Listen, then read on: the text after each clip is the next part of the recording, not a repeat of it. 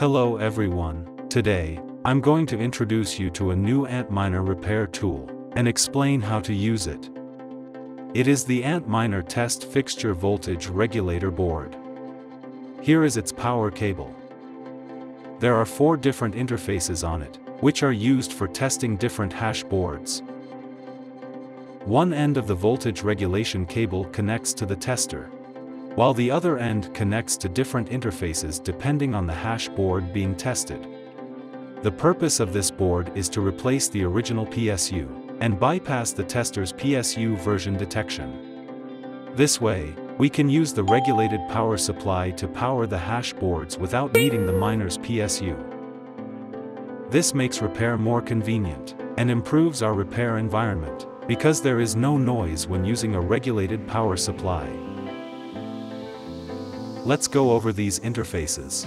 The top one is Interface 1, corresponding to the miner power supply APW 12 1215A, B, C, F, and G versions. Interface 2 corresponds to APW 12 1215E.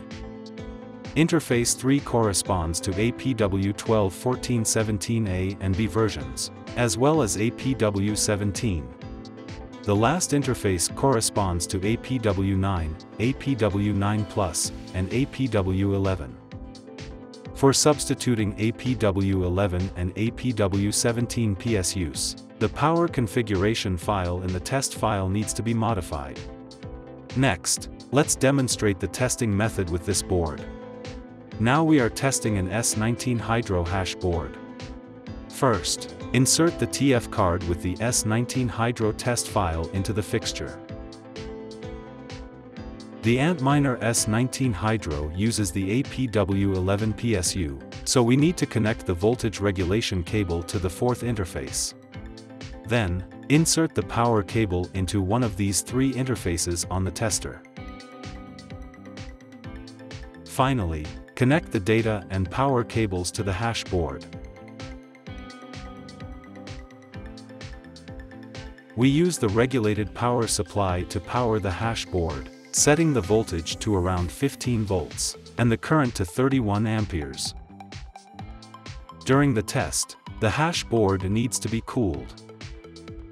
First, power the test fixture. Then the regulated power supply. And press the test button.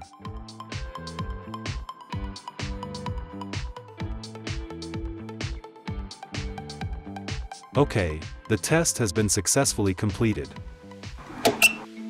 Next, let's test the S19J Pro hash board. Turn off the tester, and replace the TF card with the test file. At the same time, we need to use interface 1 according to the S19J Pro PSU model. Connect the relevant cables. The regulated power supply should also be set to around 15 volts, with the current set to a maximum of 31 amperes. Follow the operations and testing as shown in the video.